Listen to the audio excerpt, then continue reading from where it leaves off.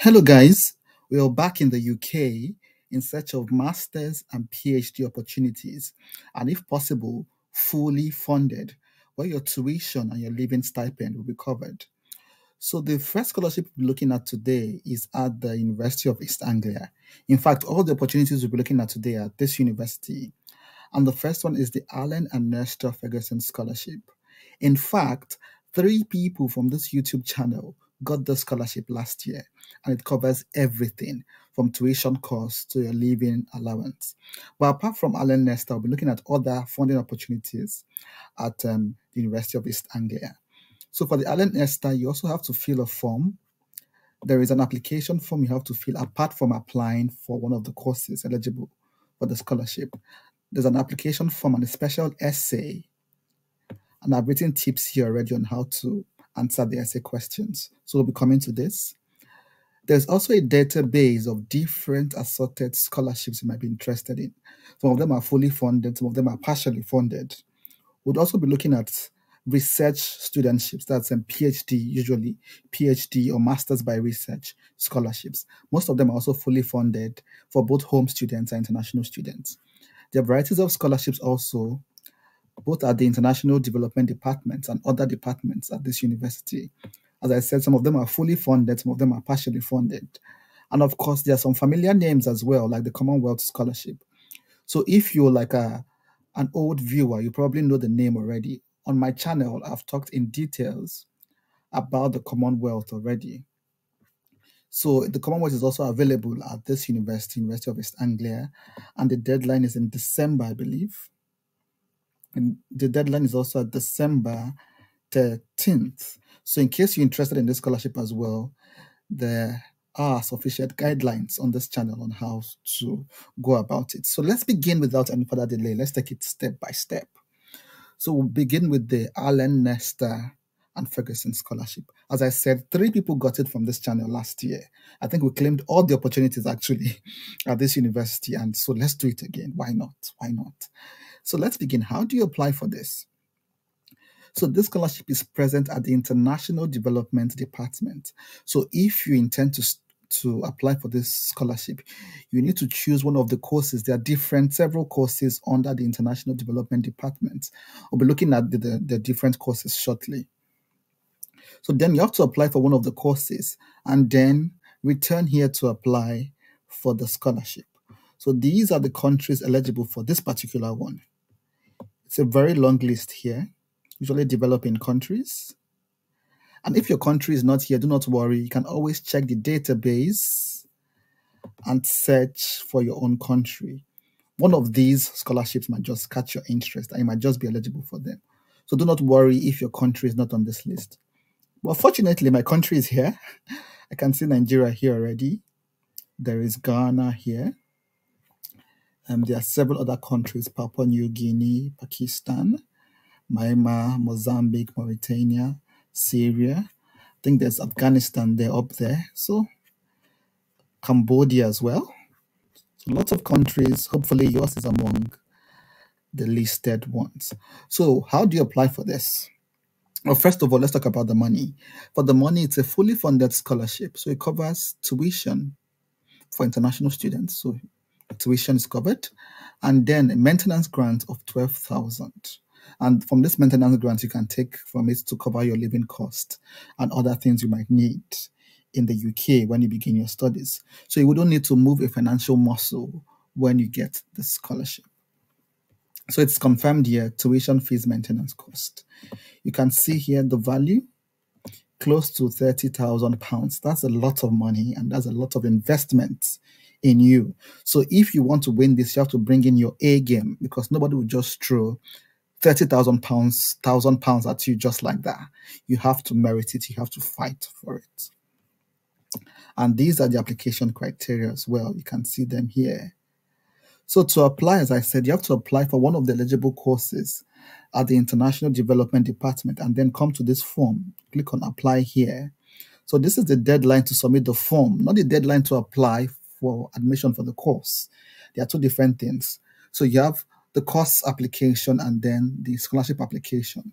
So this is where you apply for the scholarship. And if you click on this button, it takes you to this form. So what of the course? To apply for the course, simply go to look for the course page. Let's go to the, let's open a new window. And let's look for international development. Yeah, let's go to courses and courses under international development. And let's see, let's put MSc. It's MSc courses and let's see what comes out. Then remember it's for next year and postgraduate and it's full time. So these are the courses under international development or School of International Development. You can see here impact evaluation for global development. There's health economics, there's um, global development management, there's education, leadership and management, development economics, climate change, global development, media and development, development, business, sustainable development. So you can see them lots of courses to choose from. You can see um, social development. This one begins in February, so you have to be careful. I think the Allan Nesta is for, I believe, for September intake. I believe, if I'm not mistaken. But you can always inquire if that one for February is also part of it. What I think is for Se- September intake. And by the way, the deadline for the scholarship is in June, so the February intake might not be eligible for um, the Allan Nesta um, scholarship. So you can see a number of courses here and check. One of them might just catch your interest. You can see gender here as well. There are probably more courses in the International Development Department, Environment, Education, Agriculture. You can see. So you just go to International Development and see the courses that mm, aligned with your interest, if that makes sense. And of course, check the applications requirements. Check. You can see International Development School. You can check the entry requirements, 2 1 usually, and also check the language requirement and see if you can get an exemption.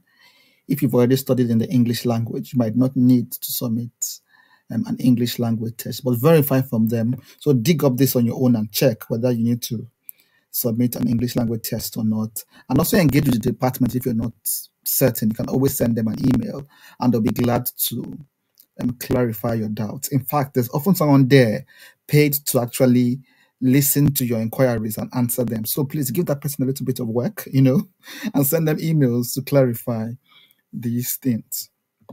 So let's go back to the Allan and Nesta Ferguson. As I said, when you apply for one of these courses, we've seen the list of different courses here.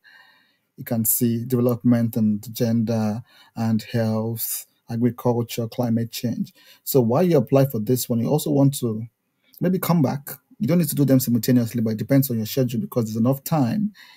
But by June 3rd, you must have submitted this form. And this is the form they're making reference to. This is the form. And at the beginning of the form, you just have to submit your um, application ID. So you must have started an application for one of those courses and then submit your application ID and other simple data like your name, email, and things like that. These are easy things that you can't you can can't easily miss. And of course, International Development, School of International Development here. But then let's go straight to the essays because this is often the make or break. A number of people might get admitted, but not everyone will get the scholarship, right? So this essay might just be the deal maker or the deal breaker. So I think we should spend a little bit of time on it. So we got in last year, as I told you, three people. Let's do it again this year. So look at this question. Please outline your financial need. Um, this scholarship will be awarded on the basis of financial need. Please use this section to tell us anything that we should take into account about your financial circumstances. 500 words. So if I were to approach this essay, for instance, I would begin with um, how I'm a very passionate um, young professional or young student in need of financial aid for further studies in ABC, that's in maybe development and gender studies or development and agriculture, deve- development and rural studies, which aligns with my future goal and my aspirations, aligns with my background and work experience as well. So you made it clear you're passionate, you want to study this to further your interest in this particular field. Then I want to talk about how you sponsored your undergraduate studies. So a number of people probably got assistance from relatives or had to do petty jobs or how to take loans that are yet to even pay back. You know, show like a difficulty that has never been so easy for you that you actually struggled to make ends meet as an undergraduate student. Probably you had to do part-time jobs or collect loans, or your parents had to like assist you from their meager resources and things like that. And like from a house of many other children to cater for, you know, to just show a little bit of difficulty in your previous academic journey. Then you might want to talk about your current financial status. Probably you're working or unemployed, but show how, what you're earning cannot fund your master's um, studies.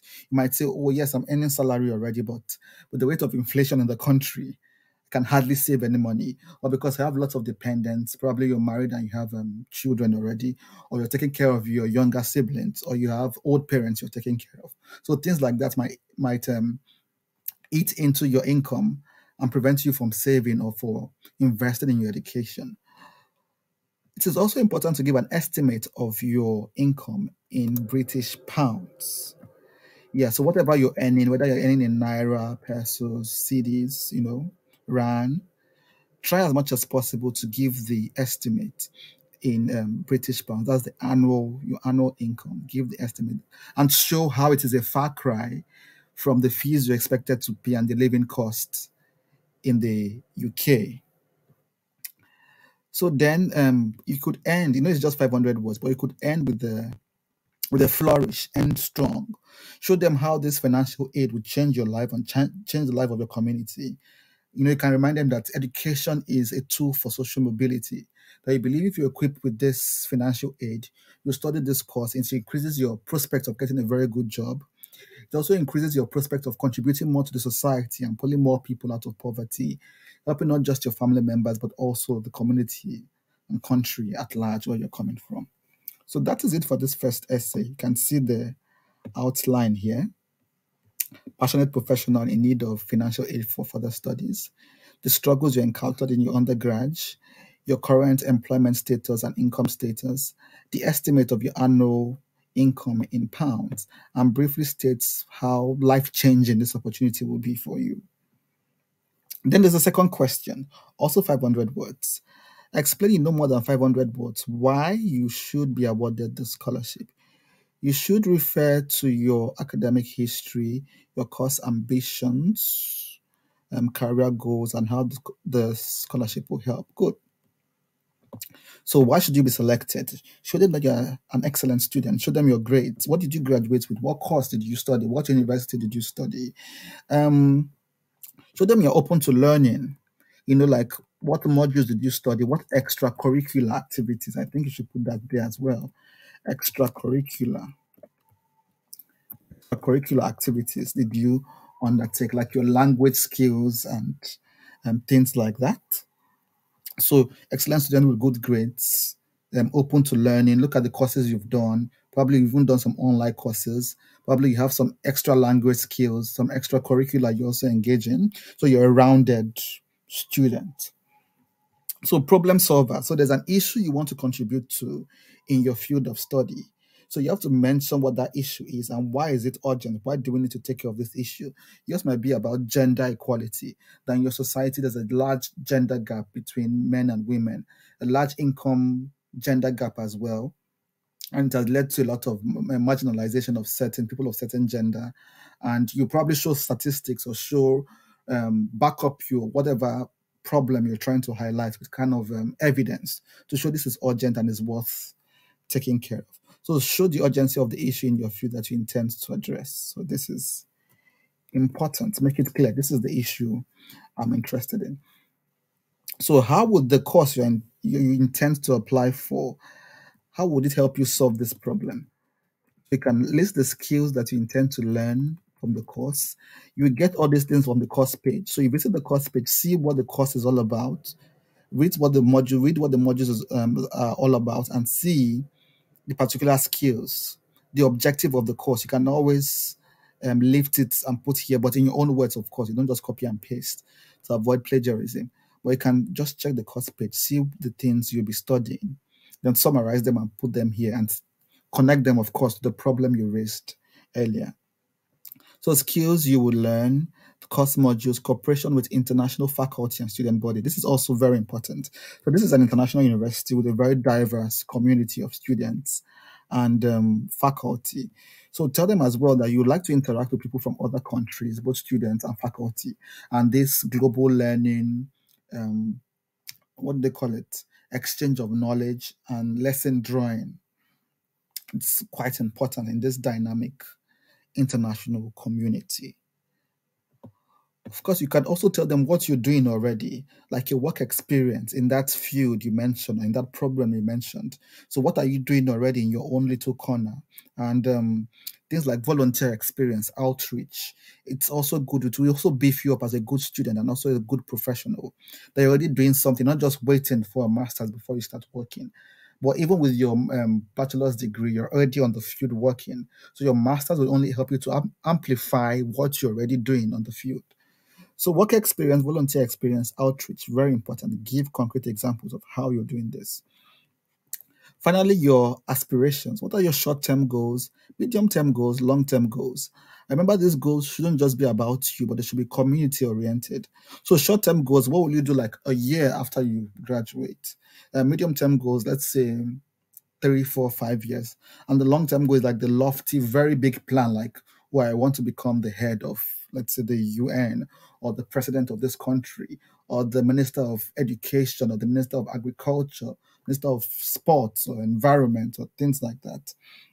And show how this course could plunge you into these lofty ambitious goals by giving you the grounding, you know, the theory, the practice, the skills, the international exposure, the lesson drawing, the global best practices, and things like that. So there you go. I hope this was useful for the essays. I hope you use them to your advantage as well. And of course, you click on yes that you've read the consent and um, information privacy and data privacy stuff, and then submit your essay. And voila, by this time next year, I hope we'll be celebrating you as well when you're already at East Anglia studying your desired course. And of course, I said there are other scholarships here. This scholarship, for instance, apart from the Allan Nesta that we just looked at now, this one is also at the Department of International Development. But this covers only full tuition, which is a lot of money already, 19,800. Then if you get this one, you have to provide your own um, living allowance. But this is already very, very generous. And it's to be awarded to five people. And um, usually five international students, either international or the EU. And there's a small essay here on um, how to apply for this one as well. For this one, you also need to apply for one of those courses and then return here for um, this application portal for the scholarship. So you can always draw lessons from what I just said in the Allan Nesta scholarship for this one. So I did not need to repeat, like go to the form and repeat how to write the essay. And also be aware of the deadline, of course. Then we talked about Commonwealth Scholarship. It's just just check my channel. My channel is known as the Commonwealth channel because we account for 40% of the entire intake of the Commonwealth Scholarship for the past two years now. We get we just roll out the numbers every year. So just check the videos on my channel and we got you through and through for the Commonwealth Scholarship. So then let's look for the at the database. I told you about a database with other kinds of scholarship. And one caught my eyes already David Sainsbury Scholarship. There's actually a video on this channel on how to apply for the scholarship. And it's also for international students. It's fully funded, covers maintenance and travel cost. And this is the deadline. I actually met two people, actually stumbled on two people in London who um, got the scholarship. And beware, there are two kinds. There are some for that is just 10%, and there's another one that is fully funded. So the people I met actually got the fully funded one. You can always check here and get full clarification. For the David Sainsbury Scholarship is for those interested in plant health, global plant science, and things like that.